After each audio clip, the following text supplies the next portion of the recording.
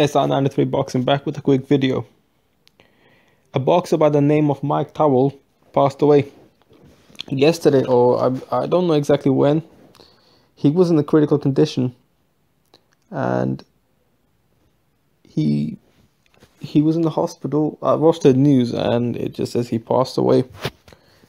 I see some of the articles to have a quick research about it. He's he bas- basically had a lot of bleeding in his head, in his brain rather. Yeah, yeah, as I'm reading it now, Mike has severe bleeding and swelling to his brain. He has been complaining about headaches for the last few weeks, weeks, but we put it down to migraines with the stress of his fight. Yeah, so that's basically, I don't know who's saying this, someone in the camp or probably his wife. Now, sometimes I two things I want to say about this. One thing is when pain is in your body, it's not always good to ignore it. And I always believe that someone has pain somewhere, it's a sign of your body telling you that you're you have a problem somewhere. And a lot of people don't listen. He didn't listen. He went in there. I mean, his team went in there, and he fought. And you know, if anyone like pain is basically pain is not always weakness leaving the body. Pain is a sign for your body to tell you if the pain is not right. It's a sign of your body telling you that there's something wrong. And it's crazy. It's crazy. You know, it's just imagine. We've there was one thing I can't remember exactly where i said this. Oh fuck it, I forgot as well. I keep forgetting things. But yeah, he yeah he got dropped in the first round in the fifth round, but he was taken to the uh, ambulance with a stretcher and an oxygen mask. So I guess he had problems breathing or whatever. It was explode. Um, I don't know what the how the fight was. I didn't really watch the fight. I didn't. I didn't. I don't actually know about this guy, but you know, yeah, whatever. You know, he passed away. The thing I want to say is, just imagine you have a person just, just I want you to like imagine this yourself. I don't want you to tell anyone this. Just just imagine.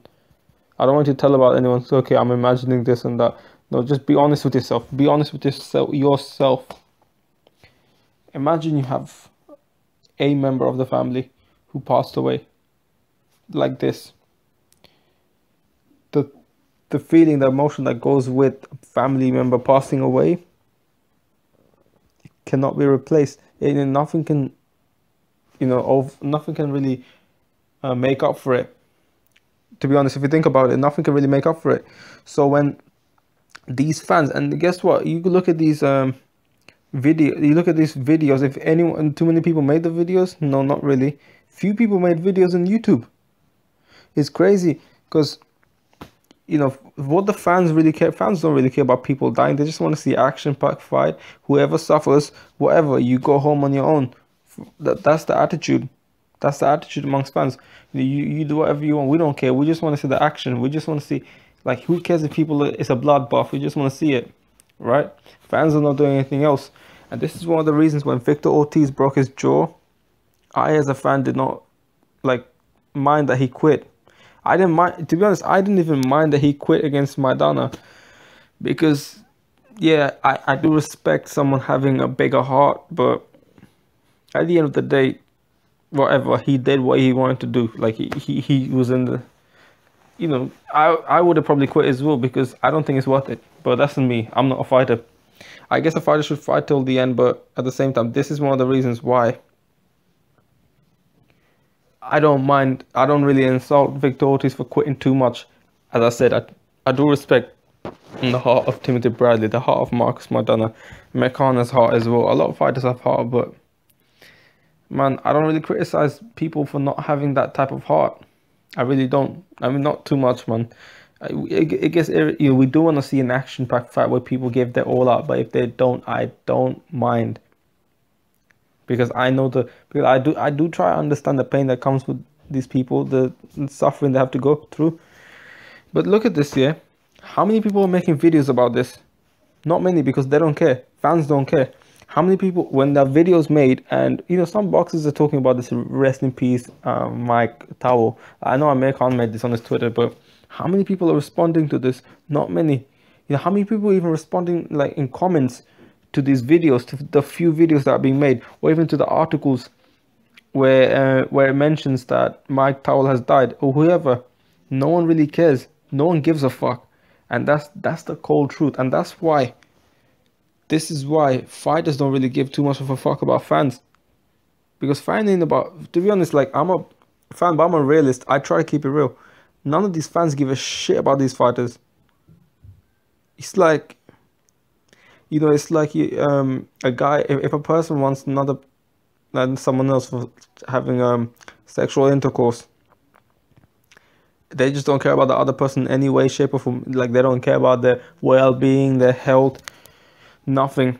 And all you want them for is some entertainment. That's all it is. Fighters are kind of like that as well. Most fans don't care about the um the fighters' health, well-being, um, nothing, nothing. They just want the fighter to give them some entertainment, just like a you know, if if a just as I said, like if a person wants uh, sexual intercourse from someone, that's all they want. That means they they just want it for a type of entertainment. Same with fighters. Fighters are getting pimped by the fans in a way. So that's kind of what I really have to say. Rest in peace to Mike Towell. Um, I hope these sort of things don't happen again.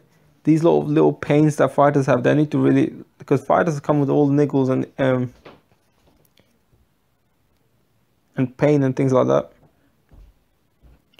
but you know i think they need to really look especially if it's like head lungs heart things like that they need to really look into it because you know when a person dies a lot of people dies mentally as well with them um, the families and things like that. And i think your life is more important than everyone else's. So yeah man that's what i think. Box i'll be back with a quick video soon